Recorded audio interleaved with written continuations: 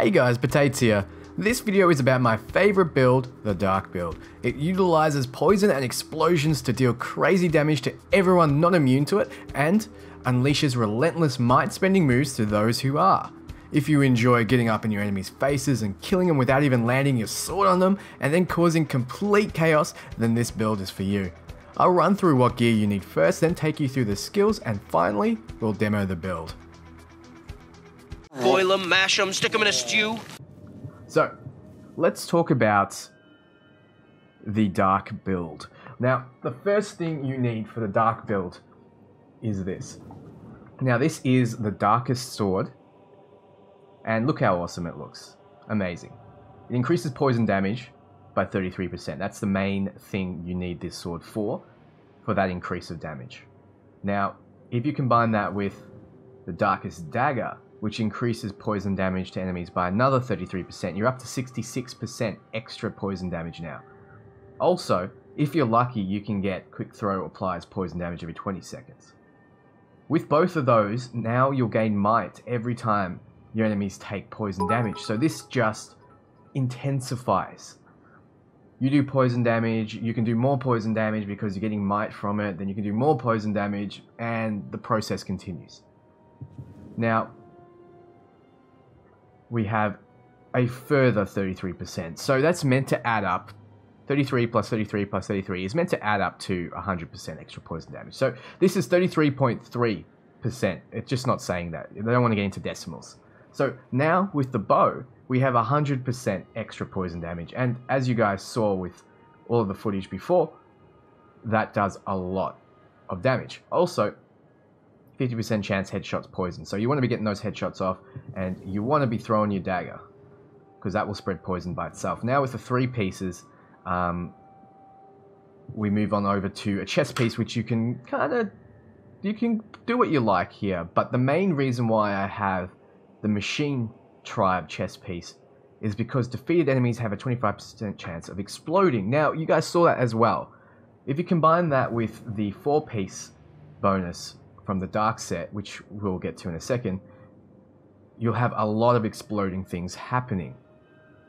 So you'll have guys exploding with fire damage, they're already poisoned, and then that activates the balefire. So there'll be a lot of balefire happening because you'll be killing a lot of things, a lot of grunts will be dying, and a lot of grunts will be exploding as well and exploding as well. So there'll be a lot of balefire because of this build. Also, um, critical hit can also apply cursed. So just so you guys know, the more variety you have in your damage types, the better. So with this dark set, you're focused really primarily around poison, but uh, they might be dazed or might be fearful of, of curse. So you have a way to apply curse, which will break their poison resistance if they have one, their poison immunity if they have one, then you can start applying the poison. So we have a way of doing fire and we have a way of doing cursed. Then we go back to the cloak here, which is increases the poison damage by a further 33%. So we have 133% extra poison damage right now. Okay, we don't. This is probably not the best one to have. This could be replaced, but I just haven't found a better cloak. And then we have um, whatever whatever ring you need for this.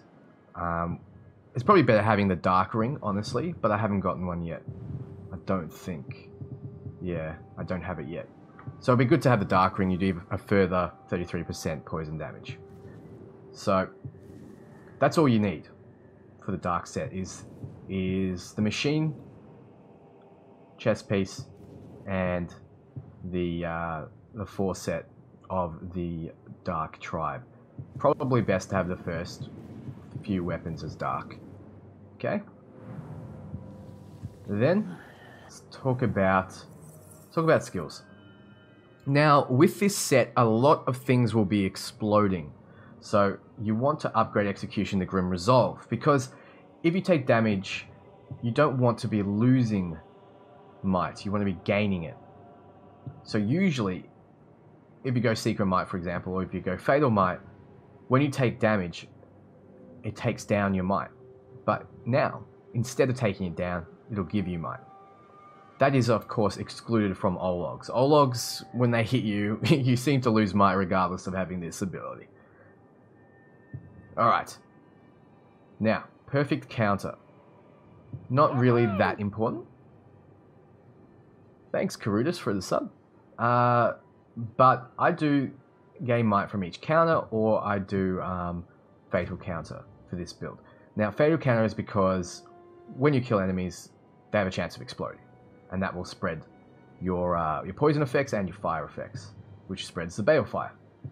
Now, your health is going to get slightly lower because things are going to be exploding. So having an increased chance of critical strike when your health is low is what you want to go for. So reprisal is probably the best upgrade for this. You want a way to get back your health. So I like having ground drain. Lets you drain while they're on the ground. Though you can use Fury, more of a chance of critical striking, more of a chance of spreading the curse. Um, or you could use ratio. It doesn't really matter, but I prefer ground drain. Now, brutal aggression gets ceaseless might. This is a no-brainer. Um, ceaseless might means you can get off two of your venoms or one of your venoms, one of your poison blasts, but it doesn't fully deplete your bar when you use any might spending move. So that's what you want. Now with retaliation, depending on how much you die, you might want to get adamant, get, gain an additional last chance, or like I have, vengeful drain, so you can get up, drain your attacker, get some health back, turn a minion to your side. It's a lot of shenanigans there. Now, Elven Agility, I just get Silent Runner so I can just avoid having to fight everyone. Uh, you can get Spectral Dash. Helps you when you're in stealth get up close, but I prefer Silent Runner. Now, Brutalize, I prefer having a hit streak slightly higher. I also prefer having your might built slightly faster. I don't want enemies to flee. I don't feel like that's needed. I prefer them around so I can start generating might off them by poisoning them. Uh, then we have Poison Tendril. I use Proximity Trigger, but you could use Bursting Toxin. So you can start um, spreading that chaos. I liked it before Monolith changed it. It used to be um, all of your poison damage would make them explode but now it's just when they drink from the barrel. So this could be a way to start the fight. Get a few of them exploding, spraying the poison. So it's all down to uh, either bursting toxin or proximity trigger, depending on how you want to play. Now, Wraith Chain. I use uh, Shadow Blade so I can do more of these more often, so you can get five or six of them instead of just four. Uh, I've never really needed to use Monster Hunter, so I would recommend Shadow Blade over that. Now, Deadly Spectre. I rarely use this, but Spirit Jane is the way to go as well. You don't really need to brutalize. Fear is an effect that's only good when you have gear for it, I believe. Because grunts are never really a problem. I've never had a problem with grunts, and you guys probably don't have a problem with grunts either. They're, what the way I see grunts is a grunt is a battery it's there for you to recharge. It's there for you to get health back, it's there for you to get might. And Wraith if you want to kill them. So do not make your batteries run off. Okay, Death Threat, I just switch between these two here. So Vow of Violence if you want more gear from Death Threading, uh, better gear from Death Threading, sorry. Oh, not better gear, uh, better Mirian gain. You get a higher reward for, for completing the uh, Death Threat, sorry. Um, and Than Death is great if you want to uh, lower the level by quite a lot. Now, Detonate. Bursting Arrow is what I use so I can do it from range, though Spider Song is just as good. Remember, you, you want to spread that poison, you want to spread that uh, fire. There's the Balefire effect. Freeze Pin, I use Savage Ice. Now, the reason I use Savage Ice is because there are a lot of Olog captains that I want to be able to pin down. And this will allow me to do so. You can make them flee in terror. I don't see the point of it, honestly. The only reason you'd want to do this is if some of them had that uh, poison effect and you want it to spread. Um, but because all of them won't be exploding now because of the change to bursting toxin, just get uh, Savage Ice.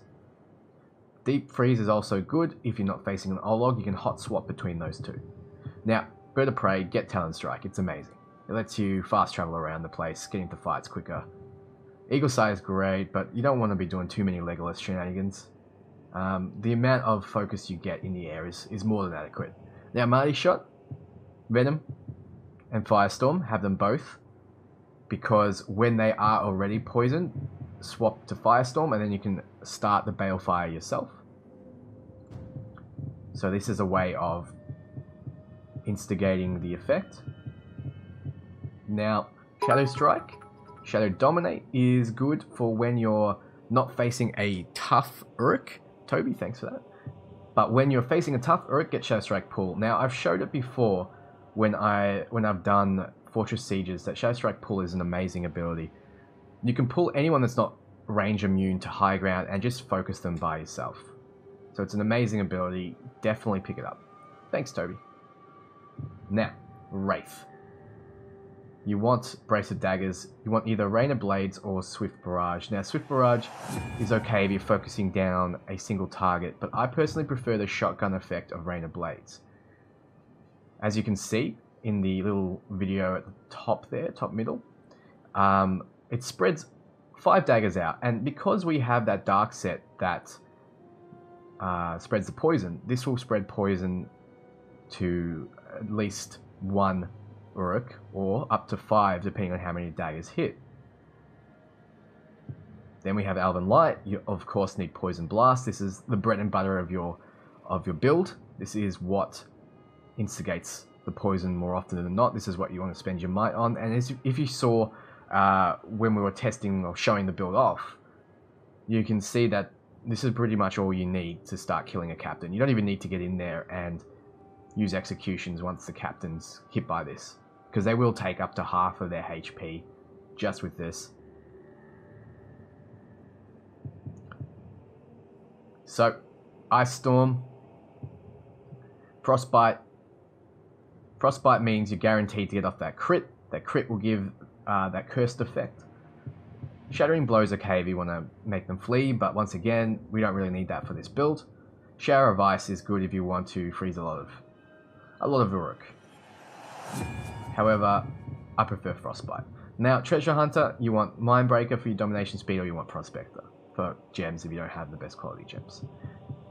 Uh, Raise the Dead, I keep it on Undying Loyalty, but if there's um, if there's beasts around you or olives around you that you want to resurrect, then go for it. Though with this build, we don't really use Raise the Dead, so ignore that for now. Just do this based on personal choice. Now, Caragor Rider,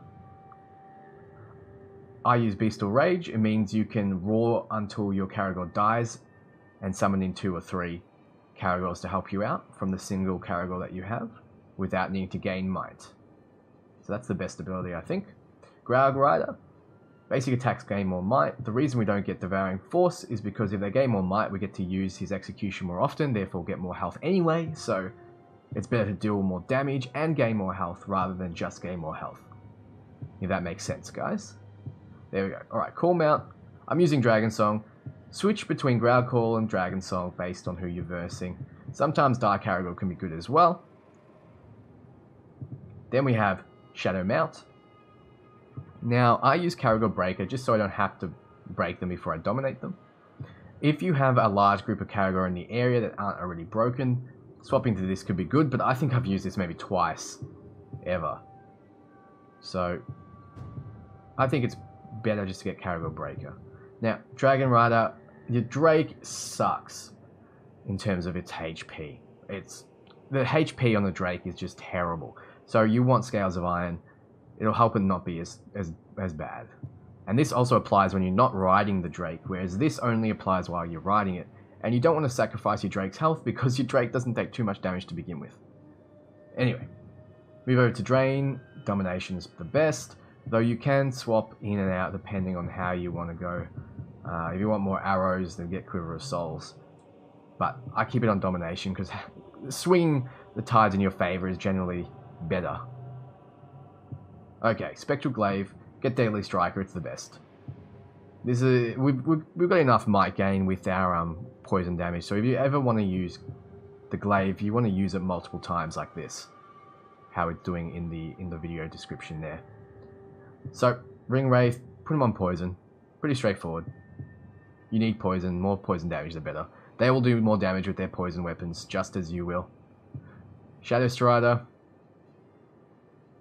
You want to get Hammer of Eragon. Now the reason is because when they're frozen, you can do your Ice Storm. And then you can get the crit. There is... I don't think there's another ability that's as good as this. Especially when you're facing a very powerful Uruk. The ability to freeze them and hit them from the back is invaluable. Especially when they're a defender or a savage. Um, I've won fights against a lot of very difficult Uruk just by using this ability. Well, the main reason is this ability. So, pick that one up. Call followers, bodyguard. Now, you want a bodyguard with the ability to uh, increase your poison damage. Now, I'll show you that in a second. But that's generally the way to go. If you don't have one of those and you've gotten uh, all the Shelob memories, then use Cluster of Spiders. You can send these out individually to attack their targets and poison them. So it's really uh, depending on what you have there. If you have a good bodyguard, use that. If you don't, use Cluster of Spiders. Dominate Captain, Enrage Followers. Now, you can heal your followers if you want as well. That's an option, or you can destroy them, but don't ever pick this up. I don't think there's ever going to be a case where destroying your own guys just to make a few run away is going to be worth it. Now, let's have a look at what captains you could use.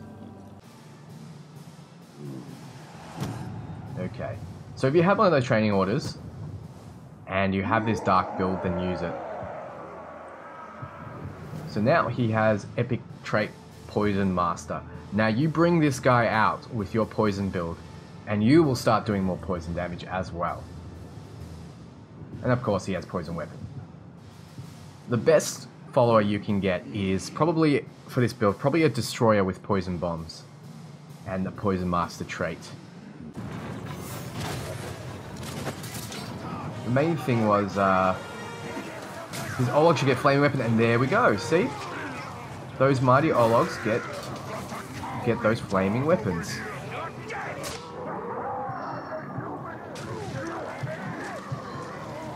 So that's what that's what mighty Ologs do, guys, and mighty or mighty anything, really, will give you the the old ability share. So those should be dead now.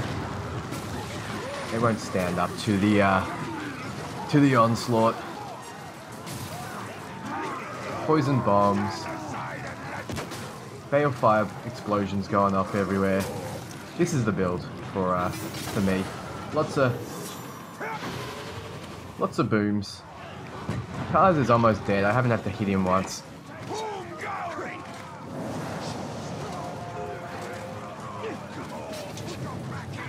Put your back into it.